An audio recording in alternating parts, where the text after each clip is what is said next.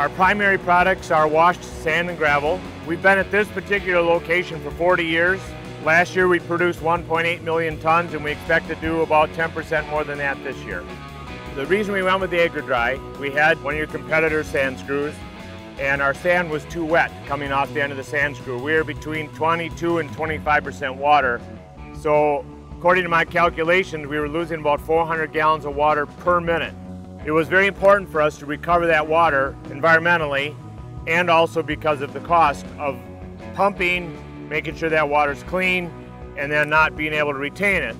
So with the Aggredry, our sand is now coming off at 8%, and we're able to keep that water in our system. It goes, goes back into our pumps and back over the hill to our settling ponds.